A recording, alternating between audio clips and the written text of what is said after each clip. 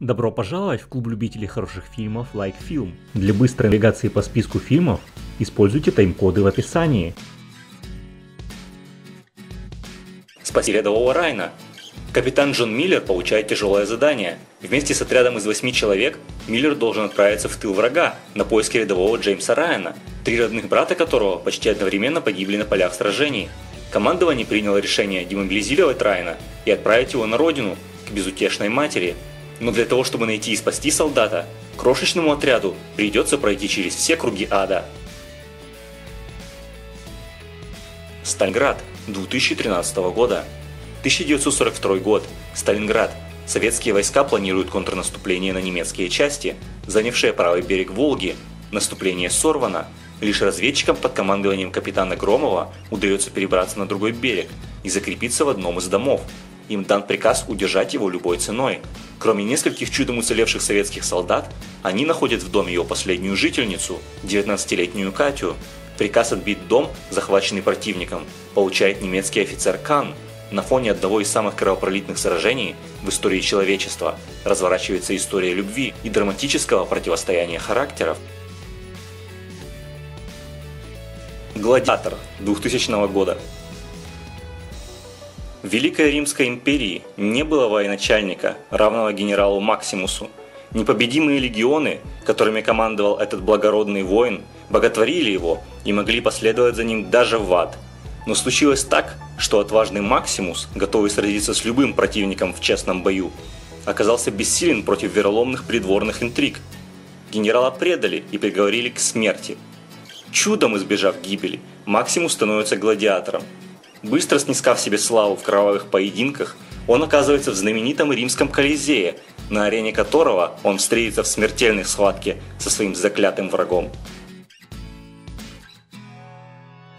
Несокшимый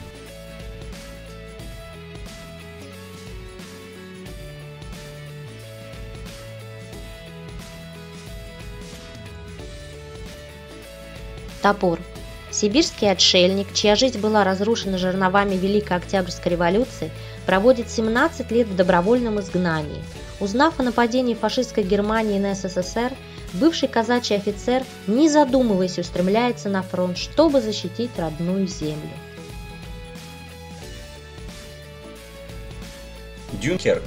Фильм расскажет историю чудесного спасения более 300 тысяч солдат в ходе Дюнкеркской операции – имевшей место в начале Второй мировой войны. Брестская крепость 2010 года. Фильм рассказывает о героической обороне Брестской крепости, которая приняла на себя первый удар немецко-фашистских захватчиков 22 июня 1941 года. С документальной точностью описываются события, происходившие в первые дни обороны. Фильм рассказывает о главных трех очагах сопротивления – возглавляемых командиром полка Петром Гавриловым, комиссаром Ефимом Фоминым и начальником 9-й погранзаставы Андреем Кижеватовым. Танки. На пороге войны с фашистской Германией инженер Михаил Кошкин разрабатывает прототип нового инновационного танка Т-34. Чтобы доказать уникальность боевой машины, Кошкин и его команда отправляются в Москву на танках своим ходом. Кавалерия. Их бросили в пекло после 11 сентября, когда мир раскололся на до и после. Именно им предстояло на передовой бороться с врагом, не знающим пощады. На чужой земле преимущество у всадников. Этому их научили нежданные союзники. Вместе они попытаются удержать мир от погружения в хаос.